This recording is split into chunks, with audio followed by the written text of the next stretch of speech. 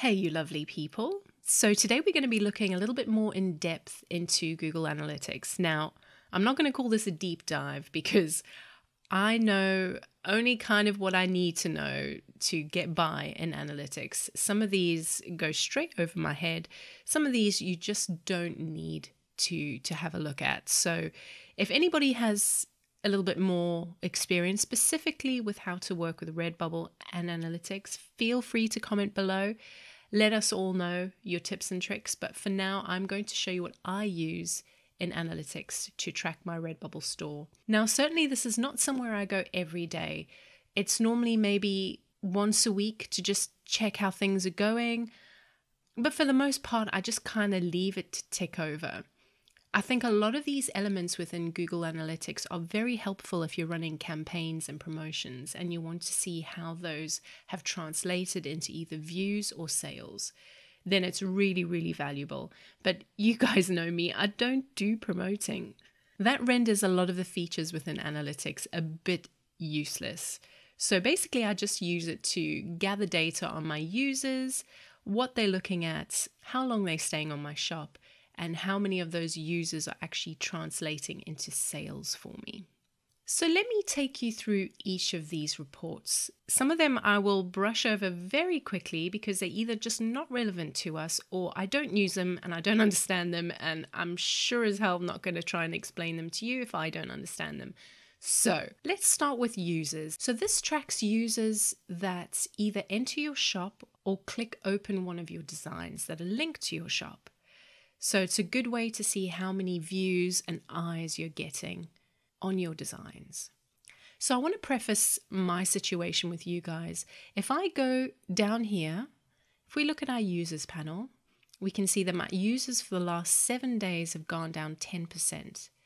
Now, I've been on quite a high with two designs on Redbubble from, I'd say, the end of May to pretty much now that have been trending and I've made crazy, crazy sales on these designs. But I'm kind of at the back end that they're slowing down a lot. Everything seems to be coming back to normal now. So, so my figures are all coming back down to reality. But it's it's a good bit of data to have a look at to see how these trends happen. Now, when you look at your users graph, you have two lines here. So the dark blue solid line is your current week, and your dotted line is the week before. So if I have it set to seven days, which I have, it's going to give me this week versus last week. So at a very quick glance, I can see the differences between this week and last week. Now, let's go to the last 28 days. And you can see, so this would be August versus the same time in July. So you can see August, even though I still made really good sales on on these designs, things were coming down from a crazy July. So my users reflected the sales that I made at that time. Uh, if we look at the last 90 days, so it's always interesting to see where you are week to week, month to month, and even quarter to quarter. Okay, and obviously this is pretty obvious. It tells me how many users are actually on my Redbubble shop at the moment. So acquisition is is really interesting. The only downside to it is one of the main metrics is a bit useless to us. So it's always important to understand what you're looking at when you're looking at these different metrics here. So we've got direct, paid search, organic search, email, and other. So direct is basically when when Google Analytics can't determine where that traffic is coming from or where that information is being gathered from, it will just lump it into the direct category. So because we don't have complete control over Redbubble because it's not our site, Google Analytics have a limited view. They just have our shop view. So a lot of the, the information is not clear to them as to how this traffic is reaching your shop. So they lump it into this direct category. I believe it's very likely someone is on Redbubble, they've searched a term, and they found your design because no other metric measures that. So that, w- that would be my educated guess as to direct traffic. Paid search, that is a user clicking on an advert in Google or another search engine. Organic search, they found your design via a search engine, but it's not an advert. Email, they've clicked on your design through a, probably a marketing email that Redbubble sent out. And to see what other is covering, I would have to go into each individual day and click into the data to check. Um, but you can drill down and see what this other metric covers. So if I change the tab to source medium, so I have this set to the last seven days by default. So each of these is one day of the week. So we start with Friday, the 28th of August, and we end with yesterday, Thursday, the 3rd of September. So I can, if I hover over this, I can see I had 65 users that were direct or none. Remember that I'm assuming that that means they're on Redbubble, they've searched and they found your design and clicked on it. So on two occasions, last Friday, we had Google CPC, which means a user was searching in Google, found an advert for one of my designs, clicked on it. Google Organic, they've searched on Google, they've clicked on one of my designs, but it wasn't an advert, it was just a normal search listing. RB email, they probably got a Redbubble marketing email and they clicked on it. And other, if I go into that particular day, I can see what that other category entailed. So that's the same. You can have a look at each day of the week of the last seven days. So if you're running a promotion, say on Instagram or Facebook, you'd be able to see how many clicks you got from that advert that translated into someone viewing your design on Redbubble. So how you acquire users really really really useful if you are doing promotions. Again i'm not. If i if i suddenly have a very big spike in sales on a certain design and i come in here and i can see rb slash email is really really high i know that redbubble are obviously promoting that design of mine and as a result people are clicking on it and coming into my store. So it's a good indication of where things are going and how Redbubble might be marketing your designs. So that is acquisition. Very interesting to have a look at from time to time.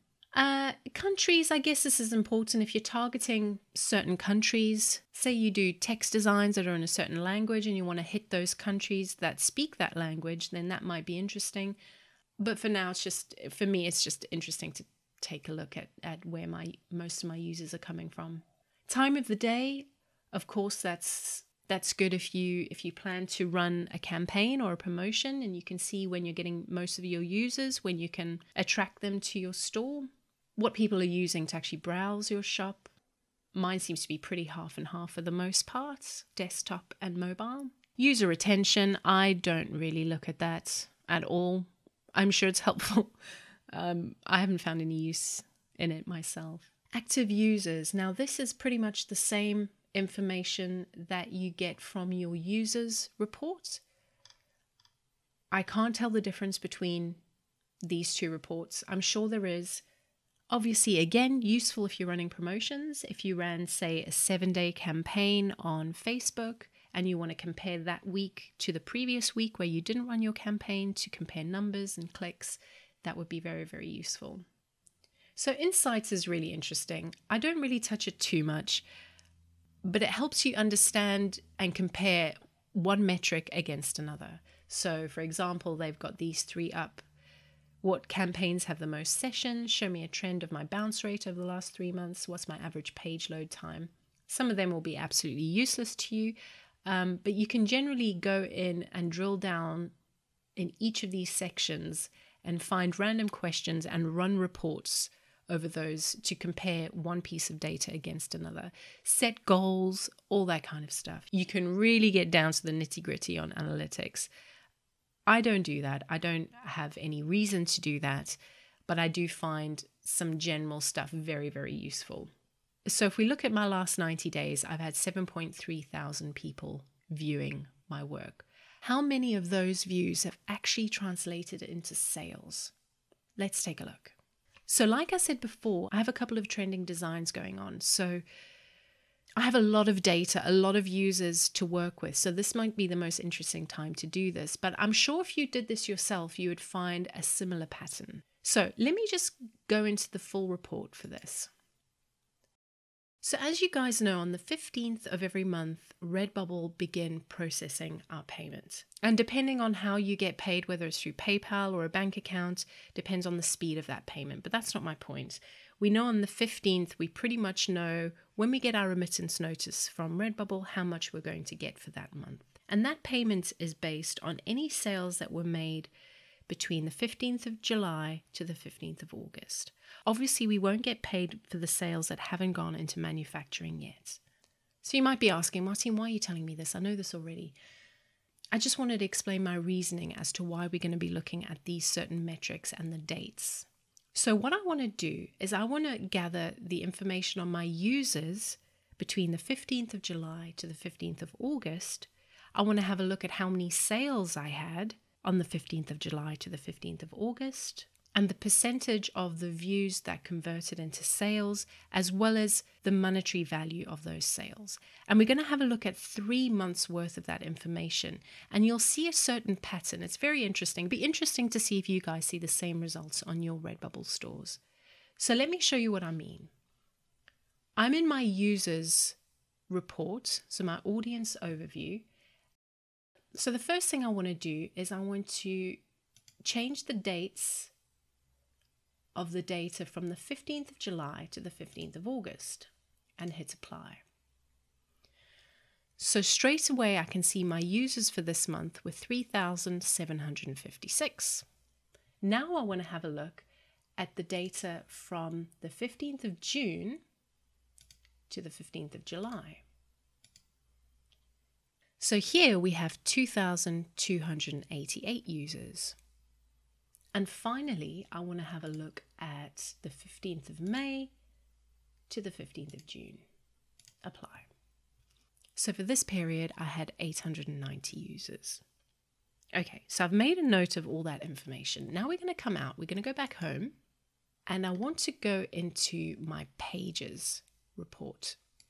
Now you'll notice on your pages report, you have all these different designs people have been looking at, but you also have this tab called checkout slash success. That means exactly what you think. Someone has actually gone to the checkout and paid for one of your designs.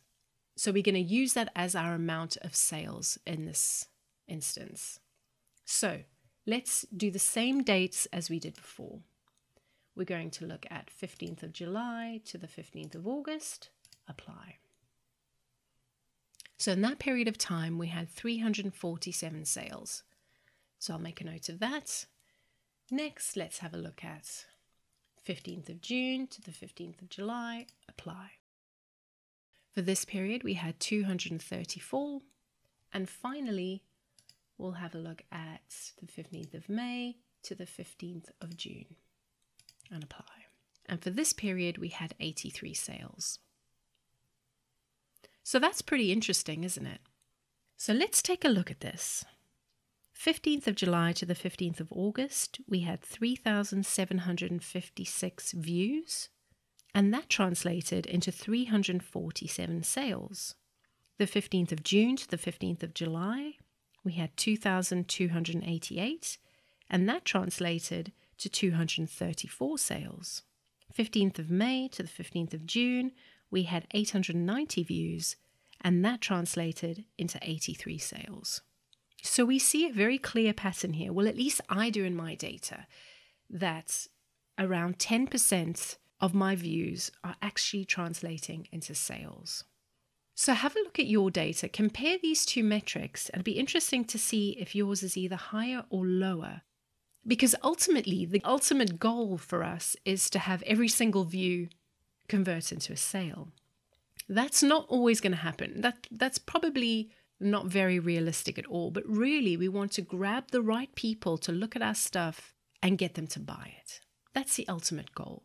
So I'm really interested in your guys' uh, percentage on that, but I've got a sneaky feeling if I keep looking at each month going back, I'm probably going to find that, that that percentage doesn't really change very much.